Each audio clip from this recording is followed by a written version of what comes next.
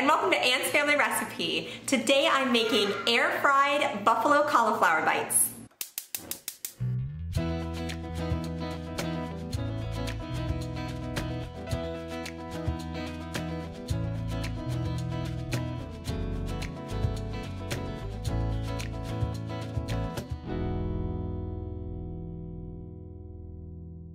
So this recipe is in no way a means for me to replace buffalo chicken or my favorite buffalo chicken dip.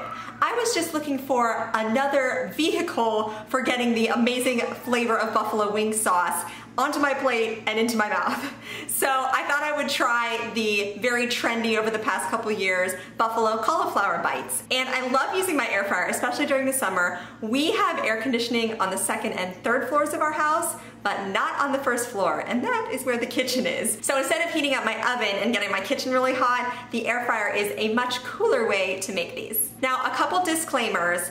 You're not going to get the texture of chicken with these cauliflower bites they're definitely still a vegetable. But the way I'm making them, they do get a little crispy around the edges and they pack a buffalo wing flavored punch, which I love. So you could eat these kind of as an appetizer or a very easy side dish. We dipped ours in a little ranch dressing, or you could use these as a topping for a salad or inside a wrap or something like that. So I am really excited to share this with you today. It's super easy, and if you're craving that buffalo wing flavor, stay tuned.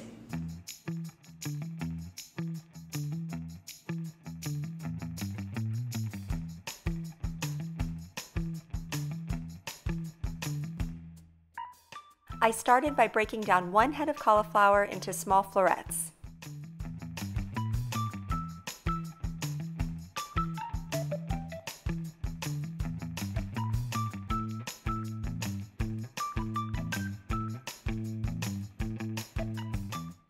Next, I melted 2 tablespoons of unsalted butter in the microwave and then added this to a mixing bowl.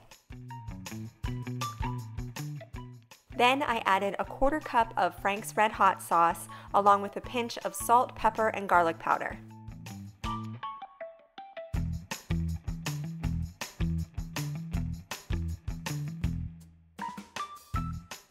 I whisked this mixture together and then added in my cauliflower florets. Then I tossed them in the buffalo sauce until they were evenly coated.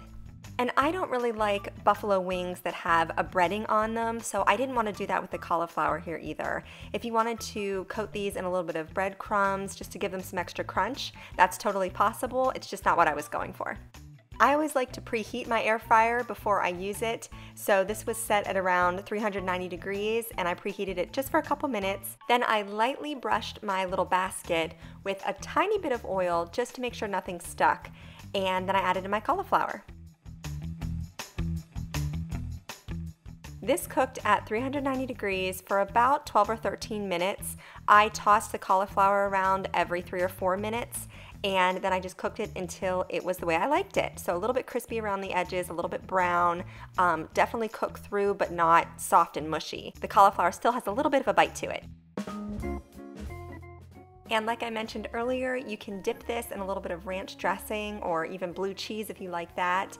Also, this makes a great topper for a salad, which is exactly how I used it this night. I used fresh greens and these sugar bomb tomatoes I found at Aldi that were amazing. I used some of my mom's incredible perfectly marinated chicken. I'll leave that recipe linked down below. Also, a key ingredient in this salad was dried cranberries. They're a little bit chewy and sweet and it goes perfectly with that spicy cauliflower. Don't forget to subscribe to my channel, follow me on Instagram at Anne's Family Recipe, and give this video a thumbs up if you liked my air-fried buffalo cauliflower bites. Thank you so much for joining me here today in my kitchen, and I will see you again soon with more family recipes.